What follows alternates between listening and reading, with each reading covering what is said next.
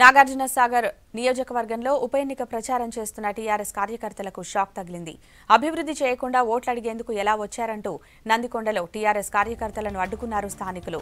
తాగేందుకు కనీసం మంచినీళ్ళు కూడా లేవన్నారు. కరెంటు లేదని పెన్షన్లు రావడం లేదని ఆగ్రహం వ్యక్తం చేశారు.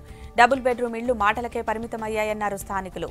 కరోనా ఎలక్షన్ కోడ్తో అభివృద్ధి పనులు ఆగాయని చెప్పి టీఆర్ఎస్ నేతలు అక్కడి నుంచి జారుకున్నారు. టీఆర్ఎస్ పరిపాలనలో ఏమి కూడా మాకు సదుపాయాలు లేవు. ఎందుకు నీ పరిపాలన?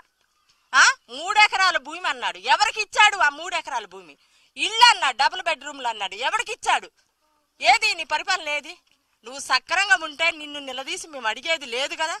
మాకు కావాల్సింది నీళ్ళు కావాలి. మాకు పైపు లైన్లు ఎక్కడికక్కడ జాయింట్లు ఊడిపోయి ఉన్నాయి.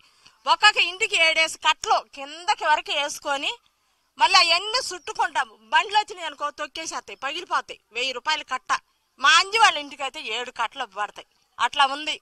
ఇవ్వద్దు పొదుపు చేసుకున్నాయి వంద వంద రూపాయలు పొదుపు చేసుకున్నాయి అవి కూడా ఇవ్వనీయకుండా చేస్తున్నారు. ఎందుకయ్యా? ఏంటి ఈ పరిపాలన? ఏంటి? అసలు నీళ్ళు వస్తాయి రావడానికి. కానీ ఇప్పుడు కూలీనాలు చేసుకునేటోళ్ళు ఉంటారు.